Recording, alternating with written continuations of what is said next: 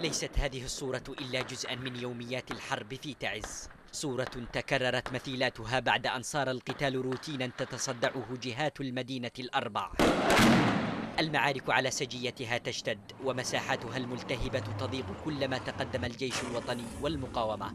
تقول أخبار الساعات الماضية إن قوات الجيش والمقاومة سيطرت على مواقع جديدة غرب وشرق المدينة. أبرزها تبة الذئاب شرق جبل المنعم وعدد من المباني المحيطة بمعسكر التشريفات حيث كانت الميليشيا تتحصن فيها وتقصف الأحياء السكنية ومواقع المقاومة منها.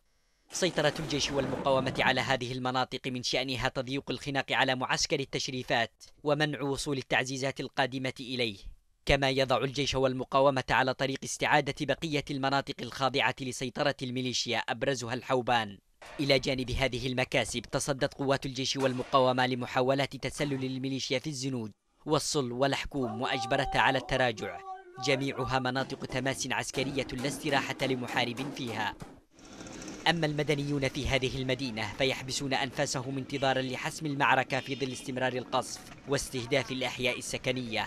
ضاق الخناق بهم لكن سماء المدينة لم تبخل بأن تجود عليهم بالمطر ليخرجوا إلى الشوارع منتشين. يرافقهم القلق كلما تسربت من ثقوب خوفهم قذيفة هون أو رصاصة قناص. الموت هنا بقصف عشوائي لا يترك بصيص أمل بأن ما يجري في كواليس الدبلوماسية سينهي قريبا. هذه المآسي فغزيرة هي الدماء التي تسيل على أرض تعز وشحيحة هي الآمال المرشحة عن المساعي الدولية لوقف النزيف اليومي.